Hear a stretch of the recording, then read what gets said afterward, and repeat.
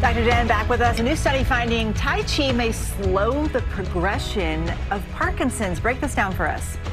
Yeah, this was an interesting study. It was small, but it looked at people with Parkinson's disease and followed them for just over an average of four years. That was really the distinguishing feature in this study, um, and looked at the progression of their disease. Remember, Parkinson's is a neurodegenerative disorder that it can affect motor, but it can also affect cognition, so things like gait, balance, and the way we think, um, and found that the people who were doing a little bit of Tai Chi had less progression progression of their Parkinson's disease and did better on their Parkinson's medication. So, of course, more study is needed, but you know, anytime we can bring a complementary approach to any disease or condition, I think that's a win-win, and this was a great example of that. Any benefits for anxiety when it comes to Tai Chi?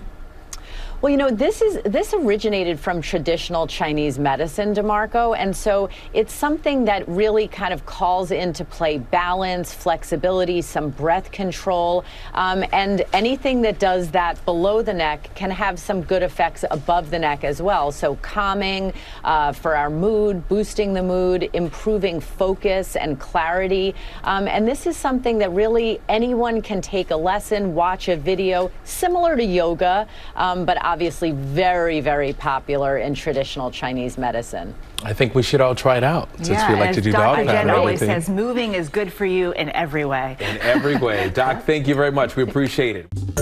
Well, hey there, GMA fans. Robin Roberts here. Thanks for checking out our YouTube channel. Lots of great stuff here. So go on, click the subscribe button right over right over here to get more of awesome videos and content from GMA every day, anytime. We thank you for watching and we'll see you in the morning on GMA.